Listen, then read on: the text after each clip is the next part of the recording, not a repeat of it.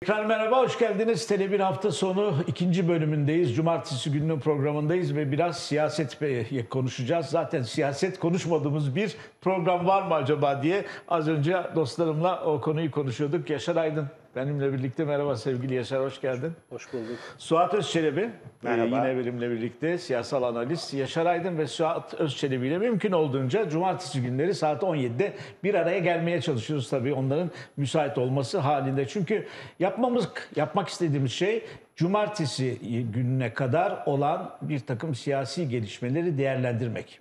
Yani bir hafta içerisinde neler oldu? Geçen hafta da benzer bir konu e, ele almıştık. Benzer konuyu konuşmuştuk. Ve önümüzdeki haftada neler bekleniyor? E, Bir toparlama yapalım. Ona ihtiyaç duyuyoruz. Cumartesi akşamının e, daha doğrusu öğleden sonranın programının amacı budur. Bu hafta tabii en çok konuşulan konulardan bir tanesi yine adaylık meselesiydi gerçi. E, Kemal Kılıçdaroğlu'nun ve tabii Alevi e, olması ki geçen hafta da konuştuk. Onun üzerine e, ciddi olarak açıklamalar yapıldı. %99 neredeyse herkes sahip çıktı. Az önce ilahiyatçı yazar Cemil Kılıç'la da bunu konuşuyorduk. E, ilahiyatçıların e, da bu konudaki ayrımcılığa karşı olduklarını e, belirten açıklamaları, bildirileri oldu. E, bunun yanı sıra da e, AKP içerisinde yavaş yavaş böyle kıpırdamalar oldu. Hani e, Bülent Arınç, Mehmet Metiner e, e, polemiğini tabii ki kastediyorum aynı zamanda. Onu da bugün konuşmak istiyorum sizinle. Aynı zamanda da Aksoy araştırma e, seçim anketini de e, sizin, e, sizinle paylaşmak istiyorum. Orada da e, son durum nedir? Aşağı yukarı bir fikir veriyor. Onu da konuşacağız. E, ne düşünüyorsun Suat? Bugün Kılıçdaroğlu'nun bu hafta yaptığı açıklamalar e, iktidara yönelik ve iktidardan da artık açıkla, açıkla, adaylığını açıkla, açıkla adaylığını, açıkla adaylığını, bir daha açıkla adaylığını. Ya niye açıklamıyorsun adaylığını şeklinde bir ısrar var. Ee, bu sürecek. Hatta e, şimdi ben hani flash flash en böyle bizi hepimizi etkileyecek olan ve ipuçlarını da Sayın Kılıçdaroğlu'nun verdiği bir konuyu söyleyeyim. Aslında geçen haftanın bence e, önümüzdeki e, e, haftalar için en aksiyonlu konu. Eğer e, öğrenmek istiyorsan benimle karşı karşıya gelir. Bir televizyon programında her şeyi konuşuruz dedi. Şimdi e, bu meydan okumalara Sayın e, Cumhurbaşkanı dayanamayıp yani sizin adayınız zaten belli değil bize ne aday soruyorsunuz dediğinde birden bir cümle arasında hepimizi şaşırtan bir biçimde hiç kendisinden beklenmeyecek şekilde ben adayım deyiverdi. Ben önümüzdeki haftalarda da birdenbire e, Sayın Kılıçdaroğlu'nun bu tarzını sürdürdüğü sürece yani sen bunu çok öğrenmek istiyorsan korkma, çekinme, gel her şeyi hatta e, biliyorsunuz o meydan okumasını Sayın Kılıçdaroğlu biraz süslüyor da yani senin istediğin televizyonda olsun. Tabii. İşte ben tek başıma geleyim sen bütün e, işte danışmanlarını yanına al vesaire gibi. Yani bu e, meydan okuma dili sürdüğü sürece ve biz e, bir gün Sayın Cumhurbaşkanı'ndan peki öyleyse deyip Geliyorum. mi? gidiyorum. Ben e, Bekliyoruz. bu adaylık açıklamasının biçimi ve tonunu hiç beklemediğim için e, artık e, bize her şeyin beklediğini düşünür hale geldim. Dolayısıyla Sayın Cumhurbaşkanı o hani hep konuştuğumuz takvim çünkü böyle bir enteresan yine sıkışmaya başladı. Yani biz bunun olup olmayacağını açıkçası Temmuz ayında anlayacağız. Yani bu maaşlara zam oranlarından, asgari ücretin yeniden belirlenip belirlenmeyeceğinden, hatta şimdi askerlikle ilgili bir düzenlemeler falan da düşünülüyor galiba. Yani bunların hepsi iyice sıkıştırılıp e, gündemin bir e, nasıl diyelim etkileyecek, toplumu etkileyecek bir hale getirilir. İçine de biraz dış politika soslu, e, Yunanistanlı, Suriyeli bir şeyler de eklenirse e, ben yine bu klasik hep konuştuğumuz erken seçim meselesinin e, gündeme gelebileceğini düşünüyorum. Çünkü hani baştan söyleyelim bu ekonomiyle e, bu kış geçirilmez. Yani şu anda herkesin söylediği bu. Bu ekonomiyle bu kış geçmez. Ya bu kışın geçerken üstünü örteceksiniz. Yani bu kışı böyle geçirmediği duygusunu seçmene ya da vatandaşa vereceksiniz. Ya da işte erken seçim yapacaksınız. Oraya giderken de ben Sayın Kılıçdaroğlu'nun bu meydan okumasının Sayın Cumhurbaşkanı'nı tırnak içinde çok kışkırtıcı ve e, gündemi gerçekten hepimizi sarsacak bir e, bütün herkesi ekranlara kilitleyecek bir e, şey olabileceğini olabileceğini düşünüyorsun.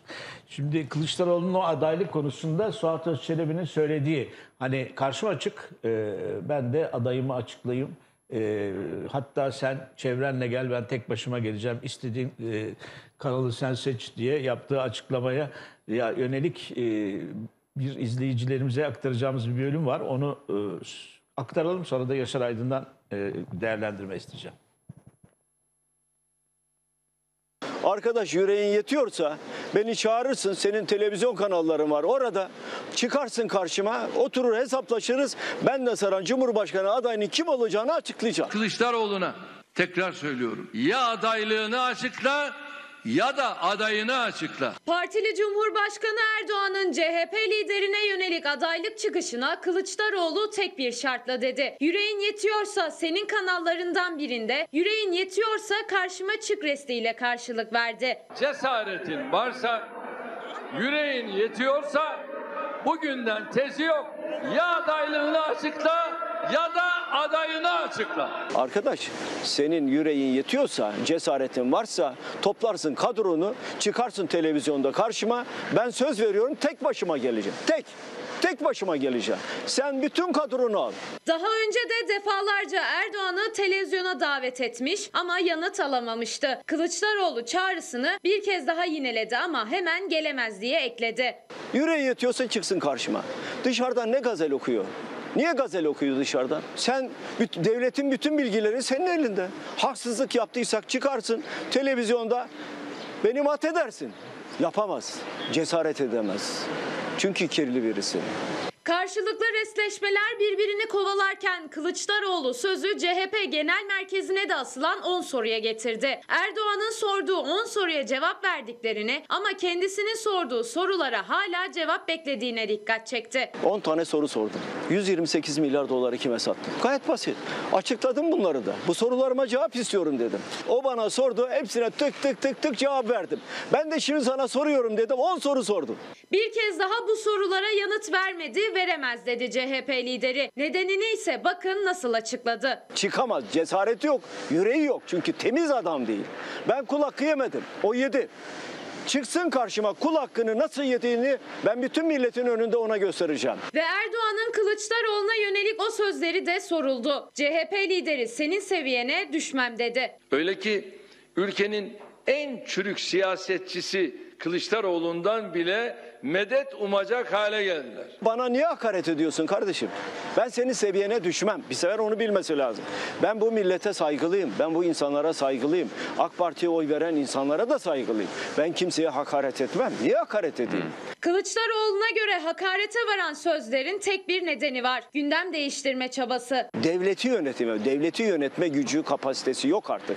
Niye saldırıyor? Bir ağız dalaşı yapalım ve dolayısıyla millet başka işlerle ilgilensin. Fiyat artışları, zamlar, yoksulluk vesaire bunlar gündeme gelmesin diye.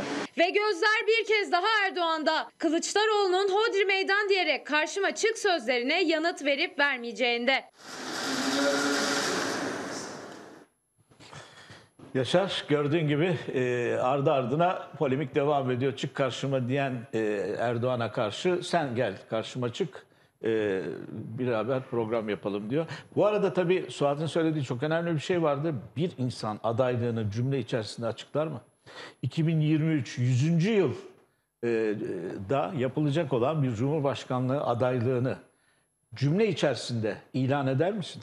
Sen onu haşa, ki Erdoğan bunu yapmaz. Herhalde e, ağzından çıktı gibi düşünüyorum. Ben yok artık yapalım denildi herhalde. Çok öteleme şansı olmadılar. Ben de aslında beklemiyordum. Yani biraz daha bunun programlı vesaire yir- 2023'te ne yapacağız filan Evet. diye böyle açıklanmasını bekliyordum ama burada söylenmiş oldu.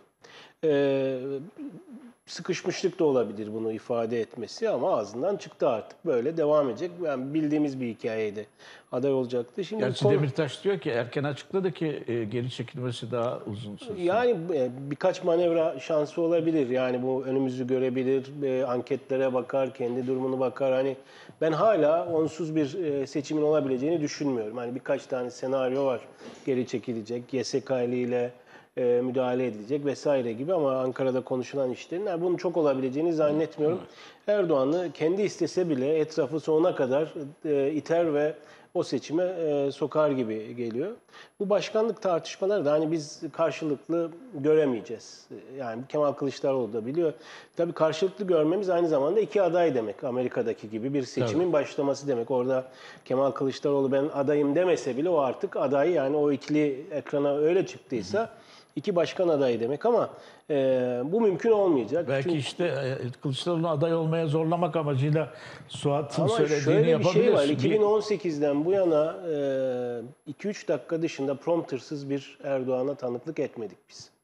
Yani böyle bir programa çıkacağını hiç zannetmiyorum. Yani bırakın prompter filan gazetecilerle bile e, şey konuşuyor. Yani seçtiği gazetecilerle bile e, prompter'a bakarak bakıyor. konuşuyor. E, böyle e, gerilimlerin, yani muhtemelen gerilimli geçer o toplantı, e, söyleşi karşılıklı. Onun böyle bir e, işe gireceğini zannetmiyorum. Çünkü alışkanlıkları bile değişti.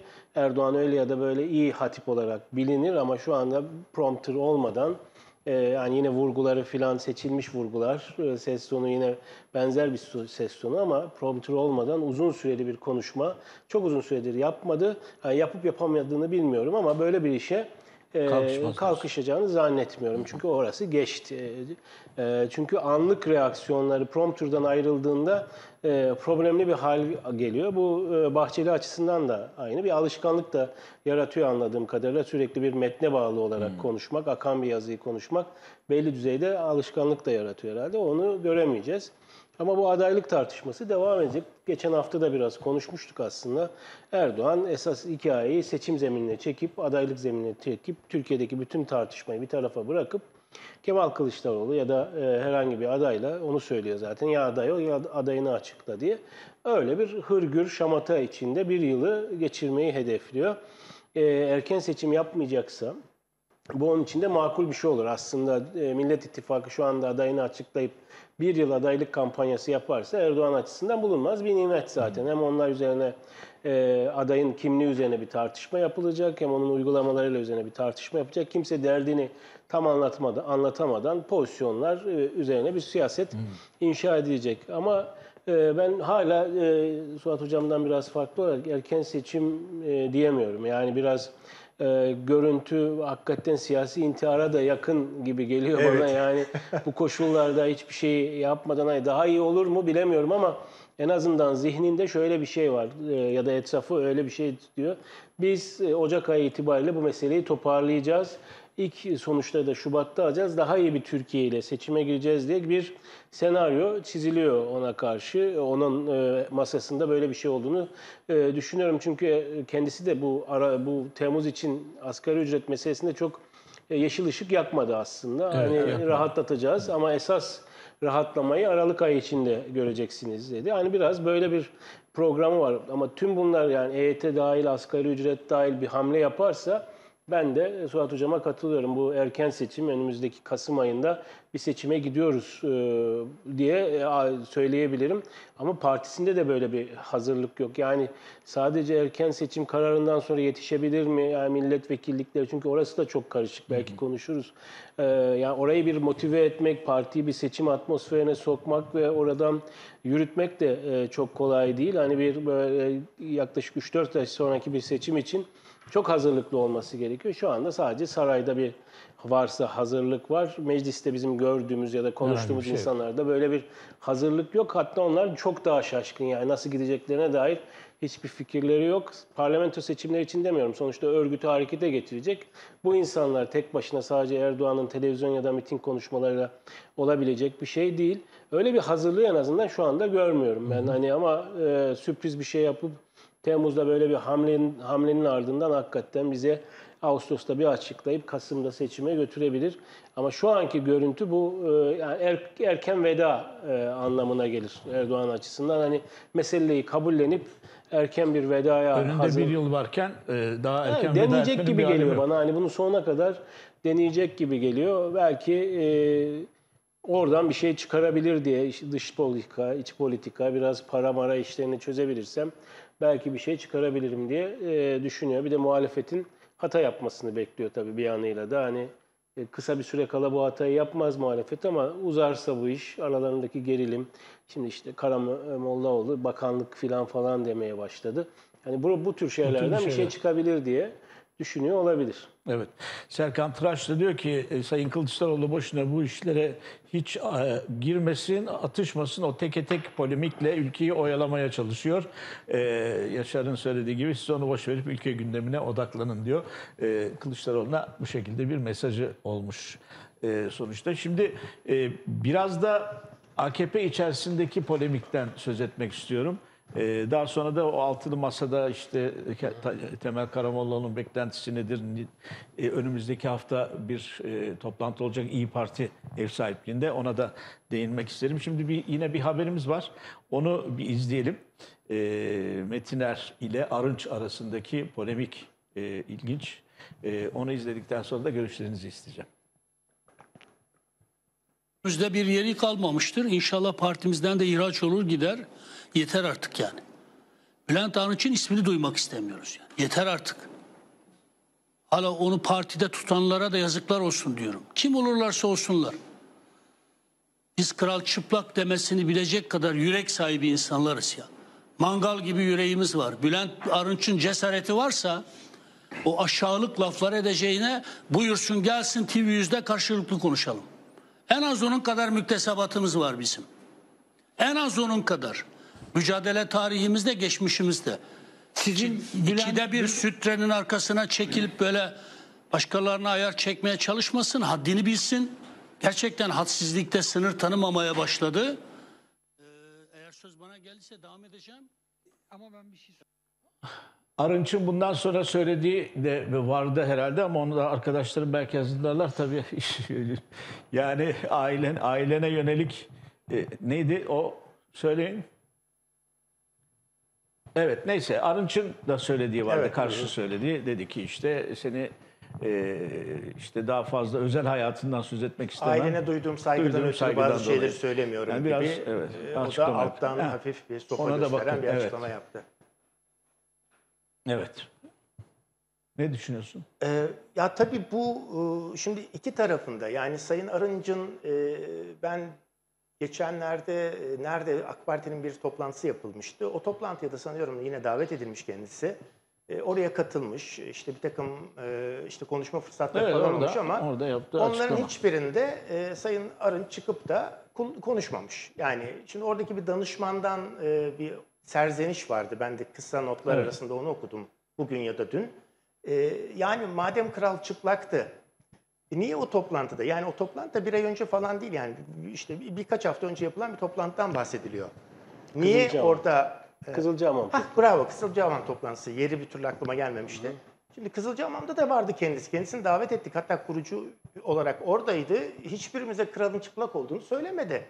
Yani şimdi birdenbire e, bütün muhalefet karşısında Türk Demokrasi Vakfı'nın toplantısında evet birdenbire kralın çıplak. Şimdi ben de sayın e, hani kişisel olarak da e, sayın Arınç'ın bu anlamda tırnak içinde bir itibar sahibi olduğunu düşünmüyorum. Yani söylediği sözlerin e, kendi tabanda işte bu tür polemikler yaratmak dışarında bir karşılığı olduğunu. Çünkü biliyorsunuz o kendisine bir özgül ağırlık atfeden bir ve bu söz de kendisine ait bir söz. Yani başkasının e, işte Sayın e, Arınç'ın AK Parti'de bir özgül ağırlığı vardır gibi cümlesini ben duymadım. Bunu da kendi kendine e. Benim bir özgül ağırlığım var biçiminde.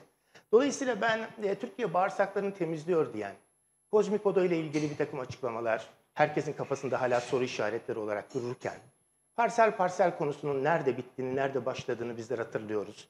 Dolayısıyla e, Sayın Arınç bu tür şey- e, sözler ve bu tür çıkışlar yapıyor ama bunun toplumsal karşılığının da muhalefet bazlı olarak da söylüyorum, AK Parti tabanında da söylüyorum. Yani kral çıplak diyebilmeniz için bunu zamanında sizin bir Konuşmuş biçimde söylemiş ve bundan ötürü de bir bedel ödemiş olmanız gerekir. Siz bedel ödemek yerine bu tür ara sıra çıkışlar yapan, bununla yetinen, yaramaz çocuk gibi görünüp hani aklına geleni söyleyen, bakın kimsenin söyleyemediklerini söyleyebiliyorum diyebilen ama daha sonra da Cumhurbaşkanlığı Yüksek İstişare Kurulu üyeliğini kabul edip hayatını sürdürmeye devam edebilen, oradan ayrıldıktan sonra birdenbire işte Kızılcahamam'da aklınıza gelmeyen şey muhalefetin önünde kral çıplak olarak gelirse e, insanlar kral çıplak olabilir ama siz de çırılçıplaksınız derler. Yani Peki izleyelim mi Arınç'ın da o konudaki görüşlerini? Ondan sonra da Yaşar Aydın'a soracağım.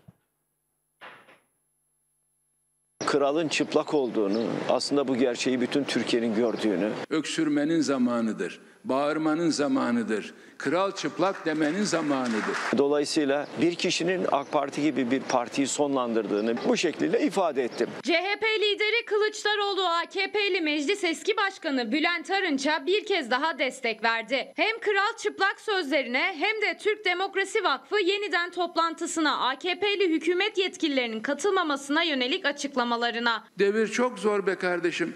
Şimdi oraya gidersek bir tarafta Kılıçdaroğlu olacak, bir tarafta öbürü olacak. Böyle bir fotoğrafı ben birilerine nasıl izah ederim? Korkuyor. Korkuyor. Gelemiyorlar, oturamıyorlar, konuşamıyorlar. Çünkü baskı altındalar. Bir kişinin baskısı altındalar. Kılıçdaroğlu Arınç'ın açıklamalarına tam destek verdi ama bu madalyonun bir yüzü. Diğer yüzünde yani AKP cephesinde ise Bülent Arınç'ın kral çıplak diyerek Erdoğan ve kurmaylarını hedef almasına madalyonun öbür yüzü. O sözlere tepki üzerine tepki vardı. Yeter artık yani. Bülent Arınç'ın ismini duymak istemiyoruz. Başkalarına ayar çekmeye çalışmasın, haddini bilsin. Gerçekten hadsizlikte sınır tanımamaya başladı. AKP eski milletvekili Mehmet Metiner Arınç'ın partiden ihracını istedi. AKP'ye onu partide tutana yazıklar olsun sözleriyle seslendi. Gönlümüzde bir yeri kalmamıştır. İnşallah partimizden de ihraç olur gider. Yeter artık. Hala onu partide tutanlara da yazıklar olsun diyorum. Kim olurlarsa olsunlar. Öksürmenin zamanıdır. Bağırmanın zamanıdır. Kral çıplak demenin zamanıdır. Biz kral çıplak demesini bilecek kadar yürek sahibi insanlarız ya. Mangal gibi yüreğimiz var. Bülent Arınç'ın cesareti varsa buyursun gelsin karşılıklı konuşalım.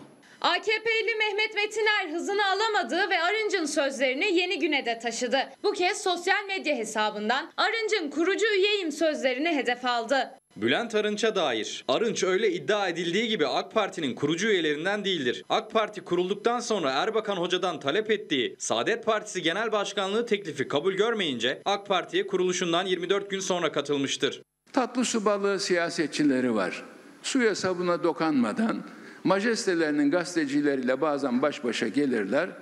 Havanın güzelliğinden, suyun berraklığından bahsederler ki yeterli değil. Benzer bir çıkışta iktidara yakınlığıyla bilinen Yeni Akit gazetesinden geldi. Yeni Akit yazarı Ali Kara Hasanoğlu yazısında Türk Demokrasi Vakfı'nın etkinliğine gidip Kral Çıplak dediğin gibi gel Akit TV'ye bir de buradan Kral Çıplak de sözleriyle gösterdi tepkisini.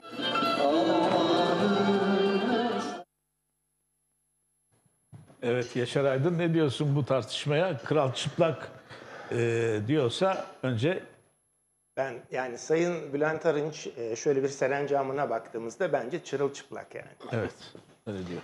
Ee, sonuna kadar katılırım Bülent Arınç'ın e, pozisyona dair. Ama e, özgür ağırlığı var mı yok mu çok e, onu da kestirmek mümkün değil parti içinde. Çok ciddi bir etkisinin olduğunu en azından milletvekilliği düzeyinde ya da örgütler düzeyinde çok ciddi etkisi olduğunu zannetmiyorum.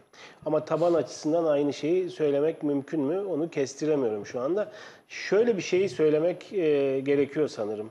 E, Adalet ve Kalkınma Partisi sonuçta çözülen bir parti mi yoksa insanların akın akın geldiği bir parti mi? Bu fotoğraf çok önemli. Bülent Arınç'ın bu çıkışı ne kadar etkisi olur, az çok insan var, oğlu bile hala milletvekili olan, AKP'de milletvekili olan bir insandan bahsediyoruz.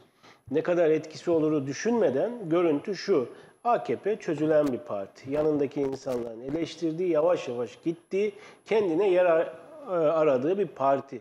Bu fotoğrafı veriyor Bülent Arınç. Yani yoksa söylediği şey kral çıplak falan hiçbir ağırlığı yok hakikaten. Ve Bugün bu bütün o günah günahların ortak e, ortağı.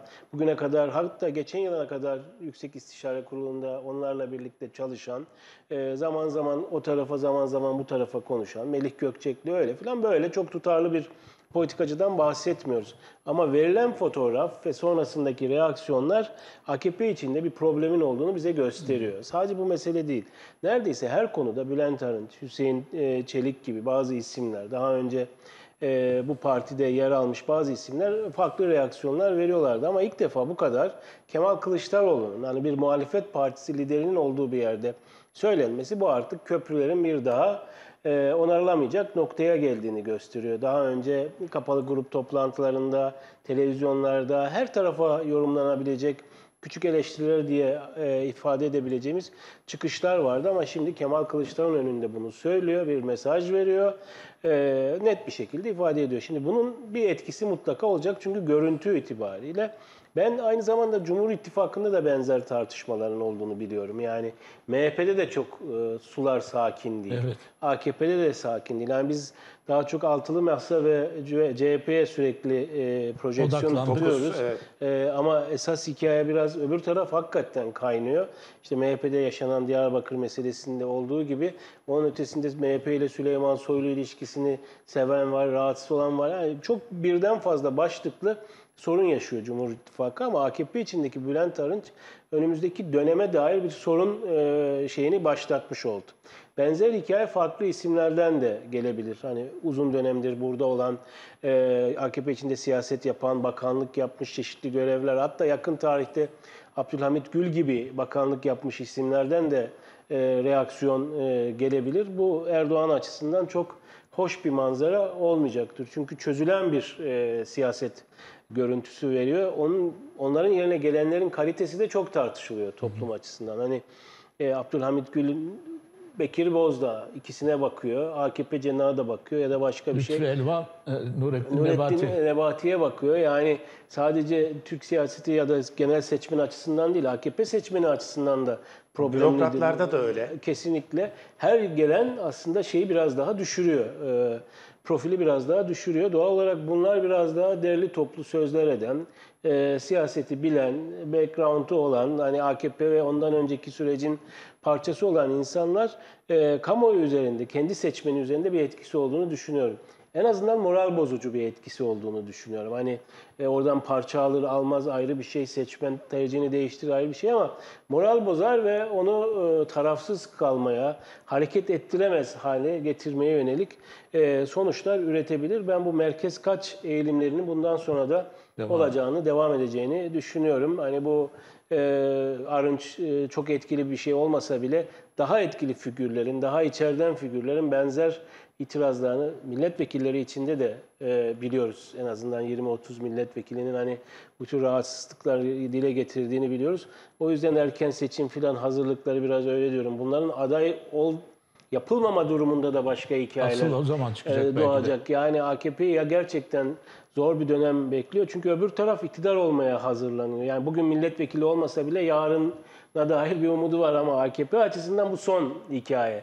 Ya şimdi ya hiçbir zaman. O yüzden orası gerçekten çok daha karışmaya, e, yeni Müsait. e, müsait evet yeni dengelerin oluşmasına çok daha müsait. Arınç da biraz buralara oynuyor. Yani kendisi, ailesi ve şey için e, önümüzdeki siyasete oynuyor. Yani çok geleceği var mı bence yok ama deniyor o da kendi meşrebince deniyor. İşte ise belki e, ileride Arınç'tan işte bak da o da vakti zamanda Kral Çıplak demişti. Zaten E, ara- bence ara- biraz sevgili Zeynel bu.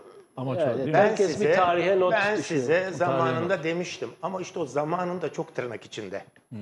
Yani kimse onun zamanında olmadığını. Yani şimdi Haziran bir de bize de onu tayin ediyor. Yani Kral Çıplak zamanı Haziran 2022. Yani şu ana kadar Kral süper giyinmiş Hiçbir şey durumdaydı. söylenmemişti. Evet. Bir de, bir de parsel parsel dedi ama devamını getiremedi. Getiremedi. Bazı açıklamalar yapıyor, devamı gelmiyor. Sonra e, işte İtibar, sözün itibar itibarı. dediğin gibi itibar sorunu da yaşadığını söylemek lazım. Bir Ama de işte tabii Metiner de karşısında Metiner olması o da şey. başka bir hikaye. Yani Aynı şey Kesinlikle. Yani Ya bu tür iş- itibar çarpı iki. Ya bu tür toplara bir iki isim giriyor. Evet. Ee, onların da hakikaten durumu televizyonlara çıkan bir iki tane isim var. Diğerlerine yasak var sanırım. Ee, onlar da toplumda hani en az e, bu taraf açısından baktığında en az o kadar hani sözüne güvenilmeyen, e, çeşitli meselelerde adı sürekli gündeme gelen, e, akçeli işlerde gündeme gelen isimler yani o açıdan e, o taraf da çok problemli. Yanıt gel yanıt geldiği yer de problemli yani. öyle değil mi? Tabii. İtibar meselesi de Mehmet Metiner'le yaptığı polemik yüzünden ya da Melih Gökçek'ti tabii. Evet. O, o da orada da bir İşte sorun. her taraftan her şey akıyor yani. Evet. Bir de anketimiz var. Ona da şöyle bir göz atıp önümüzdeki hafta yapılacak olan altılı masa konusuna da bir değinmek isterim. Ee, görüşmeler, ikili görüşmeler oldu. Meral Akşener e, diğer parti liderlerini ziyaret etti bu hafta içerisinde. E, amaç tabii e, yapılacak olan altılı masa, tabii İyi Parti ev sahipliğinde yapılacak olan altılı masa e, toplantısının hazırlığını gerçekleştirmekti. E, bu pazar bir milletvekili seçimi olsa hangi partiye oy verirsiniz diye bir soru sordu. Aksoy araştırma şirketinin sorusu bu.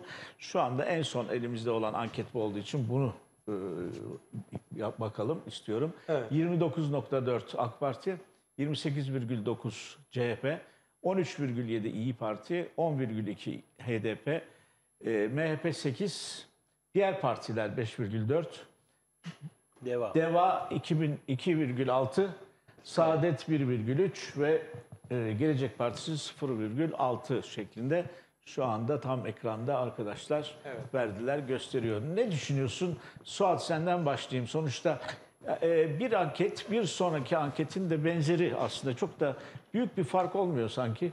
E, Şimdi şöyle sevgili Zeynel aslında oluyor. Yani şöyle bir durum var. Bu da bir bizi e, şimdi ben siyasal iletişimle uğraşıyorum 30 yıldır. Ee, bunun e, en az 15 yılı siyasetçileri araştırmaya ikna etmekle geçti. Yani araştırma yapın, sahayı ona göre öğrenin. Sizin gördüğünüz gibi değil. Veri elde etmek lazım. O veriye ilişkin strateji geliştirmek lazım dedik yıllarca. Ee, AK Parti'nin e, Türkiye siyasetine kazandırdığı en büyük şeylerden biri ki Sayın Cumhurbaşkanı bu araştırma işlerine de çok meraklı. e, bu araştırma işine çok ciddi ve siyasal iletişim işine çok ciddi e, zaman, yer, işte kişiler bunlara odaklandılar ve gerçekten bu araştırma sektörü de gelişti. Ama bu araştırma sektörü hatırlarsın bütün bu siyasi kampanyalarda ki bu kanıtlanmış bir şey değildir. Bir tür manipülasyon aracı olarak da çok kullanıldı. Yani bir e, seçim yaklaştığında ki bu yüzden Türkiye'de yasak da geldi. E, bir e, seçim yaklaştığında ona ilişkin bir şey dizayn ediliyor. Şu önde, şu arkada, şu şu barajı geçti geçecek falan gibi.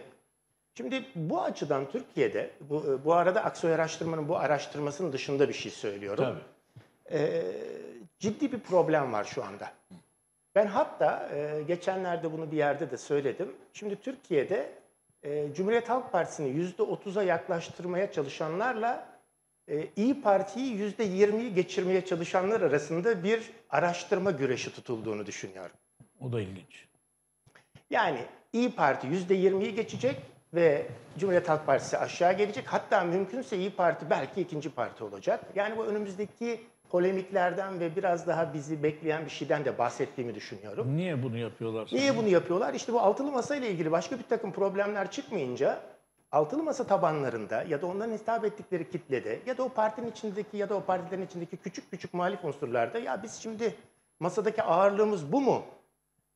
Yani İyi Parti yüzde yirmiyi geçmiş. Yüzde kaptırmış gidiyoruz. Şimdi çünkü bir de pasta yüz. Şimdi pasta mesela 120-180 falan olsa ötekine yüzde 30 ver, berikine yüzde 28 ver. Hani herkes mutlu olacak ama birinde verdiniz mi diğerinden eksilteceksiniz.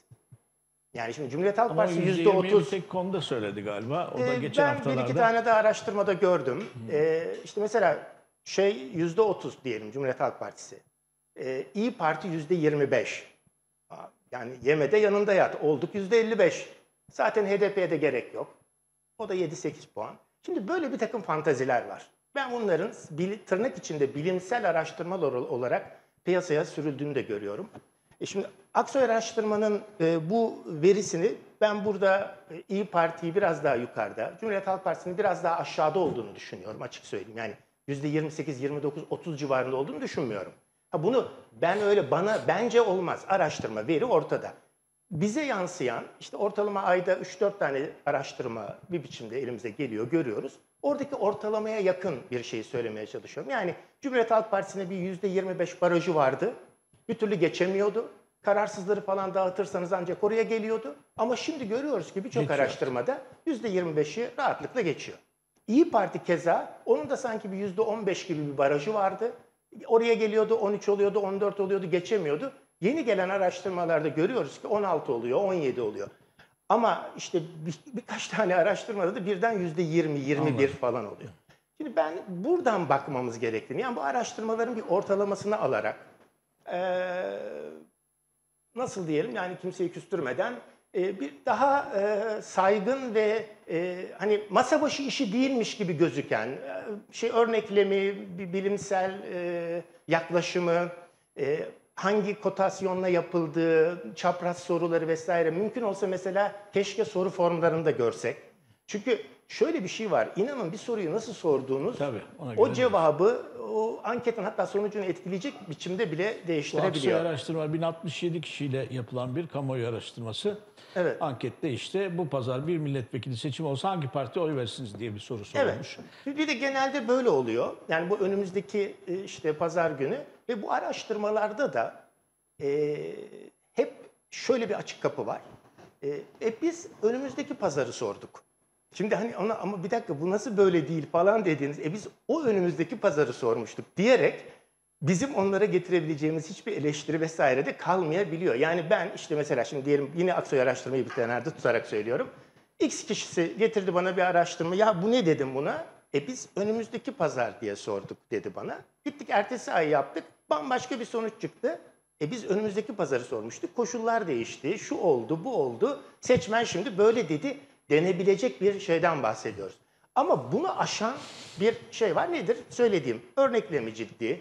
e, işte soru formu ciddi hazırlanmış. Kotasyonları vesaireleri, çaprazları, şunları bunları düzgün alınmış bir araştırmayla bir yere varılabilir diye düşünüyorum. Bu e, aynısını şöyle bağlayayım, uzatmayayım. E, hani altılı masa e, adayı belirleyecek ya ve orada hep sık kullanılan bir söz var. E, işte anketler yapılacak ve ona göre bir e, işte o veriler elde edilecek. Ben mesela orayla ilgili şimdiden hemen bir temel koşul söyleyeyim. Bence o anketler e, işte diyelim 4-5 tane saygın şirket ve mümkünse mesela bir ya da iki tane ki onlar da sahada yine Türk e, saha araştırma şirketleri kullanacaktır ama bir iki yabancı şirket ortak soru formuyla Mesela bunlar üzerinde anlaşarak oraya doğru gitmekte fayda var. Çünkü o zaman o veri karşılaştırılabilir olacak. Yani e, buradaki en çok ihtiyaç duyduğumuz şey bu. Yani işte biri 1067 denekli, biri işte 2067 denekli. Bu çok önemli değil. Çünkü neden? Standart şeyler var. Artı eksi 2, 3 hata payı, %95 güven aralığı. Yani bunların hepsi standart zaten araştırmacılar açısından. Bu netleştiğinde e, Aksoy Araştırma'nın bu anketi hani dediğim gibi benim yaklaşımım o yönde. Biraz CHP'yi yukarıda, iyi biraz aşağıda gördüm burada. MHP'yi de iyimser bulduğumu söylemeliyim İyimser %8'de.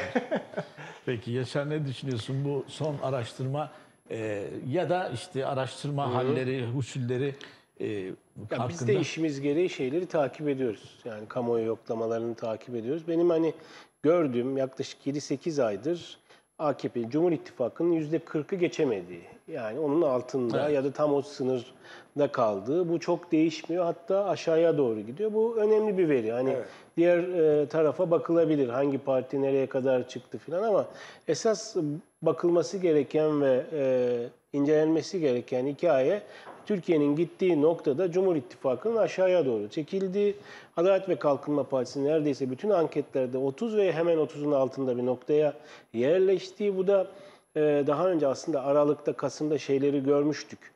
3 puanlık, 5 puanlık değişmeleri görmüştük ama 4-5 aydır bir değişiklik görmüyoruz. Yani Hatta hamleler nedeniyle Evet. mesela bir karar alıyordu ve o Evet. yansıyordu. o yani o karar aldığında 3 puan yukarıya, Evet. 4 puan yukarıya kendini atabiliyordu Adalet ve Kalkınma Partisi. Hatta e, Erdoğan ama yaklaşık 4-5 aydır böyle bir değişken Yok. tablo göremiyoruz. İstikrarlı bir şekilde aşağıya 1 puan, 2 puan sürekli inen ve eriyen bir şey görüyoruz. Şimdi bu ankette de aslında hikaye %38'e e, ya %30, 36, 38'e doğru gelmiş bir noktada e, duruyor. Diğer anketleri besliyor. Birinde 32 e, AKP oluyor, 7 e, MHP oluyor falan ama 32, 37 o bantlarda sürekli duruyor. Burası önemli bir şey. E, farklı sorularda da neredeyse %60, %40 şeyi e, duruyor. Yani başkanlık sistemi gibi sorduğunuzda %85'lere çıkıyor ama e, çeşitli aktüel gelişmelere de ilgili sorularda da mutlaka %60'ı e, iktidarın uygulamalarına Hayır diyor. Bu da şeyi gösteriyor aslında. Toplumun %60'ı bloklaşmış bir yerde duruyor ve bu kolay çözülecek gibi de değil. Bence Erdoğan'ın en çok kafa yorduğu ve zorlanacağı yerde burası. Bugüne kadar e, hikaye şuydu. Erdoğan'ın blokunu çözme meselesiydi. Ama iş şu anda döndü. Ee, aslında 16 Nisan referandumu, sonrasında 31 Mart yerel seçimleri bu tarafta Erdoğan karşısında bir bloklaşmayı arttırarak devam ettirdi. Şu anda orada %60'lık bir, %55'te 60'lık bir blokaj var. Bunu nasıl çözebileceğine dair bir derdi var Erdoğan'ın. İşte muhafazakardır, e, İslamcısıdır vesaire. Oraya oynaması sürekli o sözleri e, gezi mezi meselesi biraz o. Oradan bir şeyleri çözebilir miyim diye. Çünkü kendisine artık yetmiyor. Bundan önce kendisine yeten bir kitle vardı. Muhalefetin derdi o kitleyi oradan çözmekti. Ama şimdi genel noktada kendi %35-40 aralığına düştü. Mutlaka o taraftan %5-6 alacak ki işin rengi değişsin. Ya da çok mümkün değil Kürt seçmeniyle barışacak ve bütün dengeleri değiştirecek. Yani elinde çok fazla e, seçenek yok.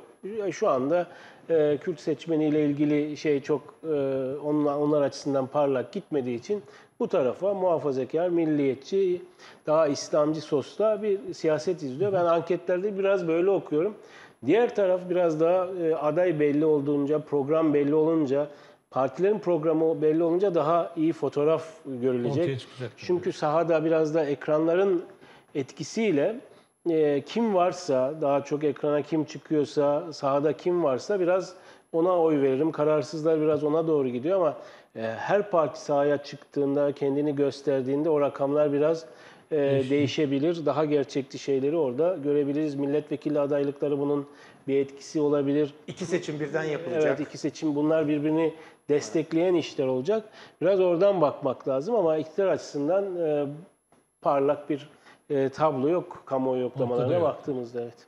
Son 5 dakika galiba arkadaşlarım bana söylesinler. Ş- Şimdi Kürt seçmeninden söz etti Evet. Yaşar Aydın. Ee, Abdullah Öcalan'a yönelik de bir tecrit durumu söz konusu e, belli ki. Çünkü çok uzun zamandan beri hiçbir ziyaretçi gönderilmemiş. Şimdi bir ziyaretçilerin gidebileceğine yönelik de Abdülkadir Selvi'nin bir yazısını okuduk. Dolayısıyla içeriden Evet. alınan bir bilgi olması açısından önemli. Yine yani seçimler öncesi Abdullah Öcalan'ın kullanılacağı Bu çok önemli içinde bir mıdır? şey. Ee, ve bence öyledir. Ee, bu en azından böyle bir fikir vardır. Böyle bir şey kullanmak istiyorlar. Ee, bu e, bu da biraz önce Yaşar Bey'in söylediği gibi Kürt e, kartı diyelim oynanabilecek ya da ona oynayabilecek elde argüman yok. Ee, bu artık e, Abdullah Öcalan'ı yani bu terörist başını bir argümana dönüştürmüş durumda. Bunu nasıl kullanırız? Ve bu sefer de aynı hatayı yapmadan. Çünkü e, 2019 seçimlerinde bu kartın nasıl ters tepebildiği ya da nasıl beceriksizce kullanıldığının çok somut bir örneğini yaşadı e, Cumhur İttifakı. Şimdi bir daha aynı hatayı yapmak istemiyordur ama bunu da kullanmak istiyor bir yandan. Çünkü oradaki çözülme başka bir probleme yol açacak. Biraz önce o 40'a 60'lık mesele e, hızla 65-35'e doğru geriliyor ve oradaki ana unsur da işte e, matematik dedik yani bir- birinden 5 eksilttiniz mi kendi ötekine 5 ekliyorsunuz. Dolayısıyla o 5 puan bile çok değerli. E, baktığımızda HDP'nin oyları %10. Yani kimi araştırmada %12 çıkıyor, kiminde 9 çıkıyor falan ama ortalama %10'luk bir kitleden bahsediyoruz. Ve bütün bu araştırmaları ve bütün her şeye ne olursa olsun şu anda gözüken e, resim bence o sevgili Zeynel. E, HDP bu konuda bir netlik sağlamadan ne Cumhur İttifakı'nın ne Millet İttifakı ya da Altılı Masa'nın diyelim seçimde kesin bir sonuç üzerinden analiz yapabilmesi mümkün değil. Dolayısıyla e, Altılı Masa'da olmayabilir. O getirilen eleştirilerin yok ayağıdır, yok e, köşesindedir falan gibi şeylerin sebebi o. Ama bu aynısı Cumhur İttifakı için de geçerli. Cumhur İttifakı'nın artık resmi o açıdan daha kötü. Çünkü aşağı inmiş yani onların masanın ayağı mayağı değil doğrudan onlara ihtiyacı var. Yani başka türlü şu anda geçemezler. Buna ilişkin hemen küçük bir şey daha söyleyeyim. Yaşar Bey de birkaç şey söylesin. Ee, şey yapamamış durumda artık Cumhurbaşkanı. Şöyle bir şansı yok. O kadar kutuplaştırdı ki. Hani genelde de- bir demokraside karşı taraftaki seçmenden bir biçimde ikna edici şeyler söyler ve oy alırsınız.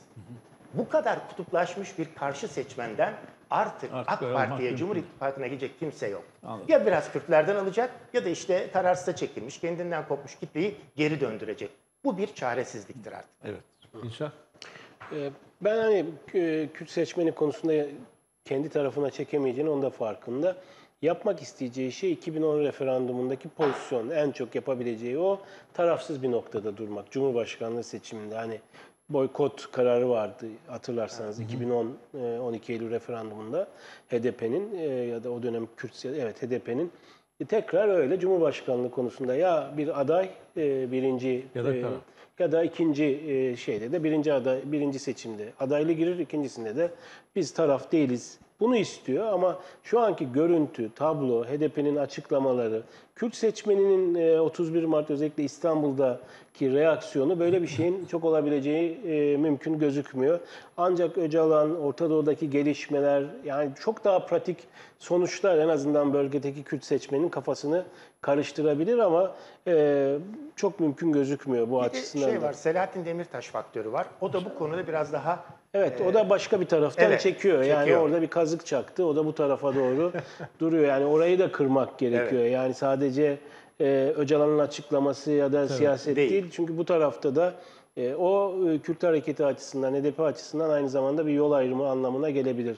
Böyle ikili bir e, gerilim hattı eğer öne koyarsa bunda e, çok o Erdoğan'ın da sonuç alamayacağı bir sonuç. Yani eğer böyle olursa da o hareket e, başka noktaya giderse de istediği sonucu alamaz. orada yani. ona ekmek yok. Pek yok evet. Öcalan'ın devreye girmesi bir ekmek getirmez. Ee, Öcalan'ın devreye girmesi değil. Ee, işte Demirtaş Hayır, ve... onu da- onu soruyorum. Ha, Öcalan'ın ben getireceğini çok zannetmiyorum. Hatta artık Kürt seçmeninin eski Kürt seçmeni olmadığını düşünüyorum sevgili Zeynel. Yani öyle mutlaka bir etki var. Asla bu söylemez. tabii. Çünkü belli bir düzende hareket eden bir seçmen. Geçen defa sanki çok ters tepkili. Yani ama sen. çok somut e, yani geçen Bir şey bir lazım. mektupla olabilecek Olmazmış. bir şey değil. Yani hem Öcalan'la ilgili hem Orta Doğu'yla ilgili çok daha somut adımların atılması lazım ki bu ittifak hikayesinde Erdoğan'ın Hmm. siyaseti açısından çok ciddi şey olur. Çünkü bir daha öyle mektup gelip şey olmasa bu Öcalan'ın e, Kürt hareketi konusunda da e, otoritesi ya da liderliğinin sorgulanması anlamına gelir. Öcalan da sanırım böyle bir